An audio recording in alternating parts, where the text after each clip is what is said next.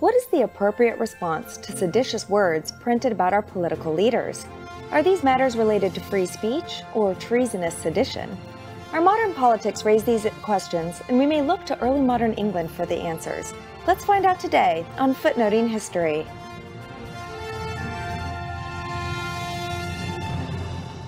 Welcome to another episode of Footnoting History. I am your host, Lesley Skousen, and today we will explore the role of censorship during a period of massive, turbulent change. It can be so tempting to restrict commentary during periods of rapid change, especially the type of commentary that can weaken the authority of those in power. This is why free speech can be so important. Today, we'll be talking about the English Reformation.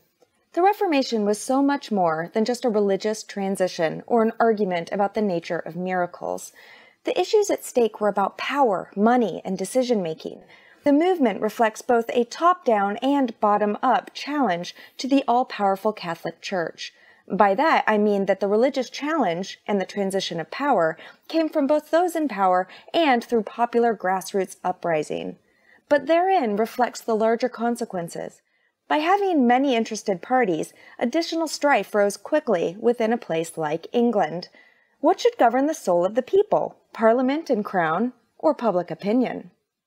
As it became increasingly clear that England would pull away from the Catholic Church in order to create something new, a massive gathering of Parliament to implement these changes was clearly necessary. The seven year meeting under Henry VIII became known as the Reformation Parliament. They met to address these issues from 1529 until 1536, negotiating the business of replacing all of the roles that the church had played in daily life among the English people. You see, in addition to providing Sunday services, the Catholic Church had become the backbone of society. They ran hospitals, they cared for the sick, they fed and clothed the poor, and they welcomed all people who suffered and had nowhere else to go. By confiscating and eliminating the convents, monasteries, and chantries, the English government was making enormous, fundamental changes to social services that would not become clear until well into the reign of Queen Elizabeth decades later. Even minor issues, like serving the poor, would trigger the creation of poor laws that inspired modern day welfare. These were really big issues and they touched all parts of social life. The decisions implemented during the Reformation Parliament were colored somewhat by a series of Reformation era pamphlets spread far and wide during parliamentary meetings. Hundreds of pamphlets attempted to sway both parliamentarians and public opinion. Some of them were published under well known names, others were anonymous. All of them sought to reach the hearts and minds of the people and their representatives.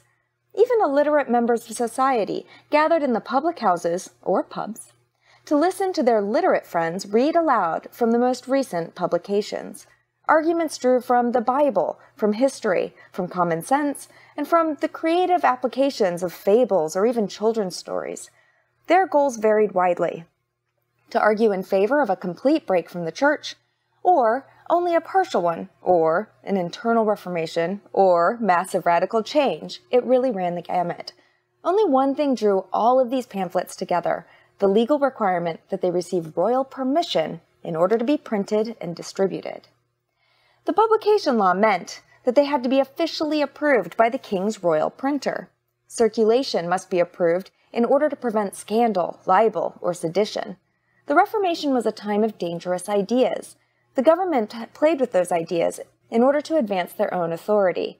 Yet it was critical that they send a message that just because some big things were changing, not all big things were open to debate.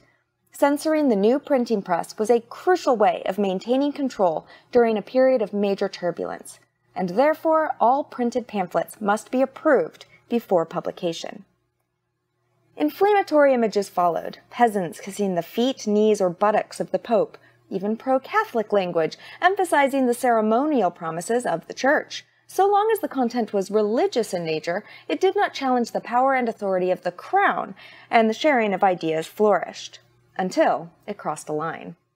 In 1532, for instance, a friar gave an inflammatory sermon against Henry VIII and his intended bride, Anne Boleyn, the future mother of Elizabeth I. His sermon was published and distributed far and wide as part of the growing national debate about religion, morals, and political power. Publications of the sermon illegally added the stamp of royal approval without obtaining the royal license first. Henry VIII responded by putting the friar under house arrest and discrediting his message.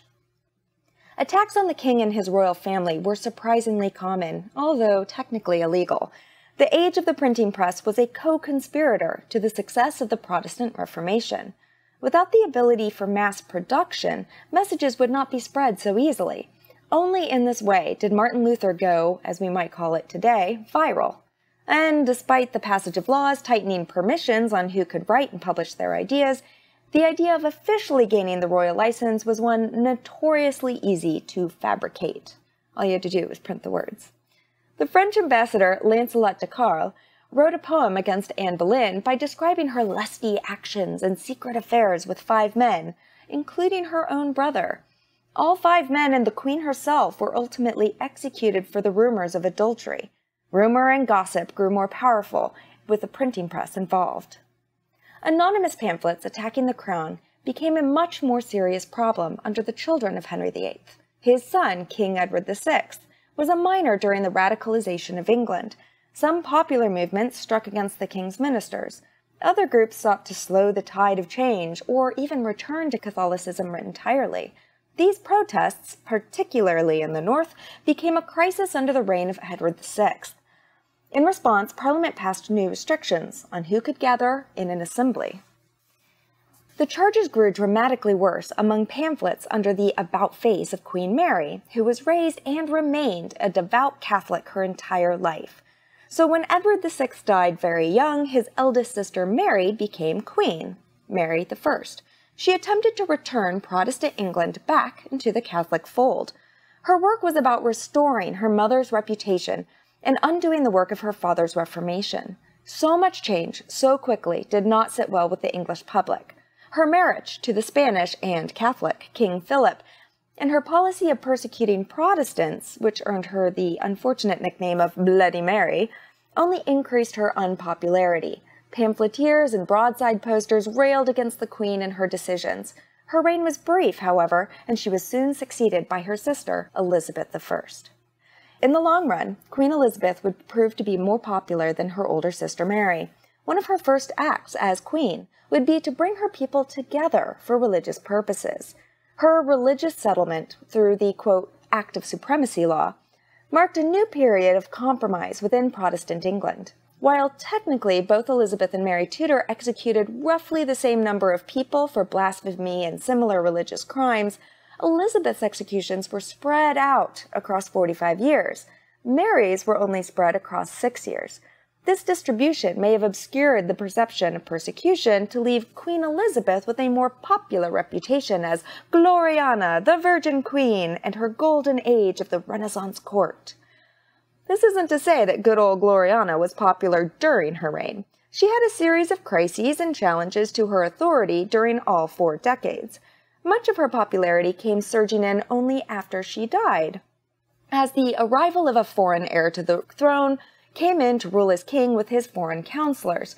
This made many English subjects long for their former queen. When she was alive, however, plenty of people spread rumors and published seditious stories. Whenever possible, those people had to be punished. By law, Parliament supported Elizabeth with the basic concept that no one should discuss matters of marriage or children without her participation. The personal decision to marry and produce children was definitely a matter of state and heirs and who would come next, but it was a private matter as well, and one particularly worrisome in a community that was uneasy with being ruled by a single woman rather than a man. So in 1579, when a pamphlet began circulating about her private choice of husband, the queen grew quite upset. The pamphlet was delightfully called The Discovery of a Gaping Gulf, whereunto England is to be swallowed by another French marriage, if the Lord forbid not the banns. The banns was the announcement of marriage, the gaping gulf was the English Channel, and the swallowing had to do with the idea of a male French king subverting the female English queen if the marriage were to go forward. England has enjoyed centuries of antagonistic relationship with France. As the subject of a French invasion in 1066, followed by the loss of the French lands under Henry II and his sons, the idea that France would return to England and render it a subservient state only became more powerful after the Reformation when England became Protestant, but France remained Catholic. The pamphlet argued that by age 46, Queen Elizabeth had no need for marriage. She was likely beyond her childbearing years. One could even argue that a marriage to produce an heir was highly valuable, but a marriage with no heir held no benefit at all.